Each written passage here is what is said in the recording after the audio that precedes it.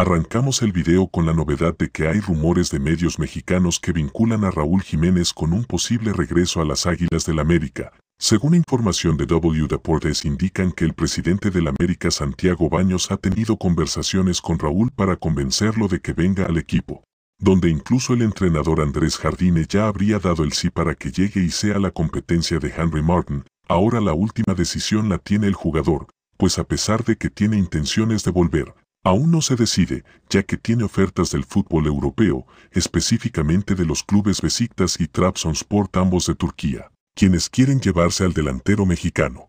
En otra nota, el flamante refuerzo del San Diego de la MLS, el mexicano Irvin El Chiqui Lozano, en entrevista para ESPN se mostró decepcionado porque no fue convocado con la selección mexicana a la Copa América.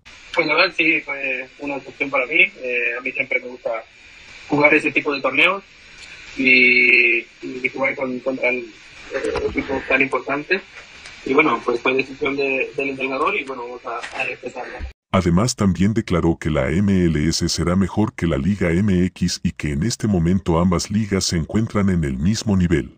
Creo que están en el mismo nivel, pero MLS está creciendo mejor y será mejor que Liga MX. MLS ha crecido mucho y quería ser parte de ese proceso. Es muy importante empezar de la mano con San Diego FC, será un reto y voy a dar lo mejor de mí para jugar, fue lo que dijo Lozano.